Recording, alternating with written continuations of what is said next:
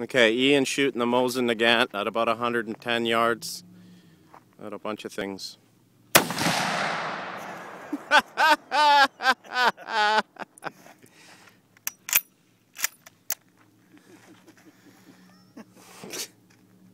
yep, that happens every time.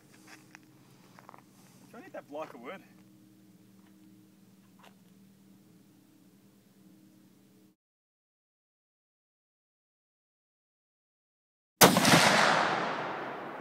Aim, aim for the valve, that hole, right through that hole there.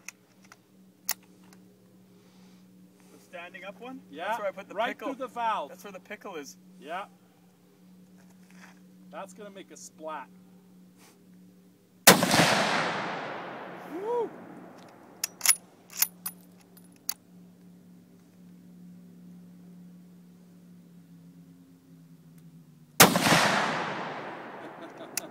Something broke.